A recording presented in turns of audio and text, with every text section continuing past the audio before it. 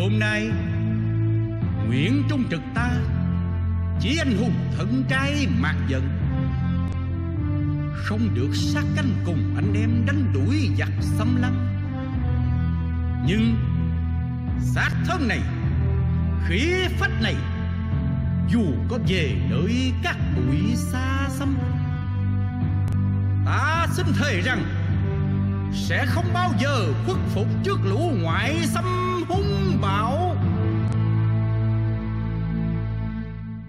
và một lái này, ta xin cảm ơn tất cả mọi người.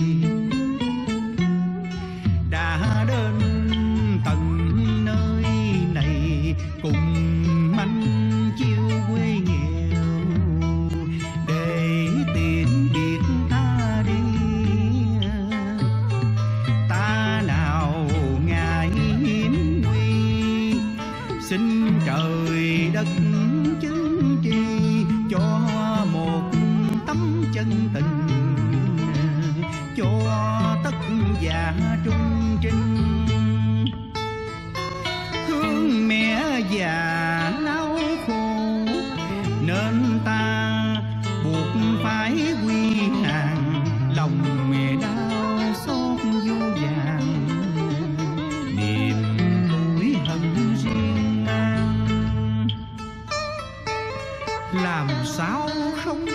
dương dân khi non sông vẫn chìm đắm điêu tàn.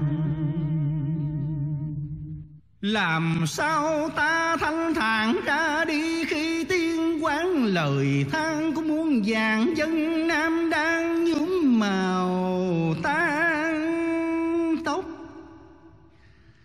Ta ngã xuống hôm nay, trong sầu thương chất ngất, ta khóc cho ai mà nước mắt mai tuôn trao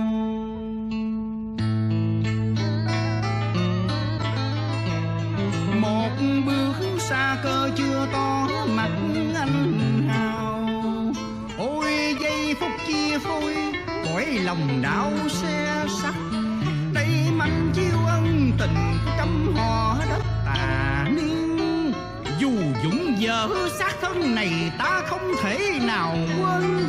Những tình cảm thiêng liêng của người dân miền rạch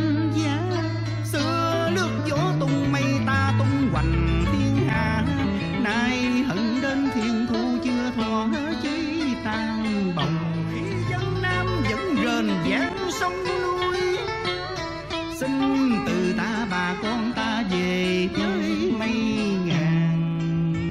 Cho dù quân thù, nhổ sạch cỏ nước nam, nhưng khi phát thiên ngang của dân nam là bất diệt. Pháp trường hôm nay sẽ bừng lên tiếng thét, hùng đúc khí can trường dân tộc việt ngàn năm. Xin bay